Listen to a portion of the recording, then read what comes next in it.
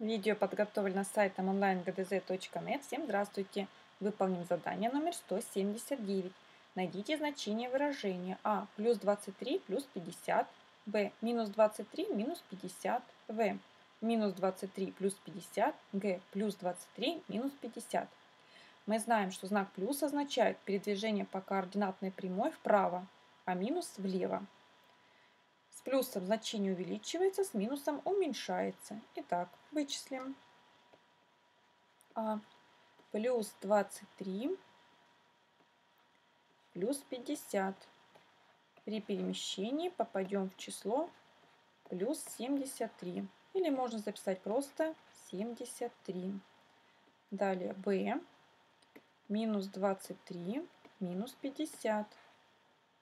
При двойном передвижении влево, влево мы попадем в координату минус 73. В минус 23 плюс 50. Сначала движемся влево, а затем вправо. Получается точка 27. Г плюс 23 минус 50. Сначала пойдем вправо на 23, а затем влево на 50. Получим значение минус 27.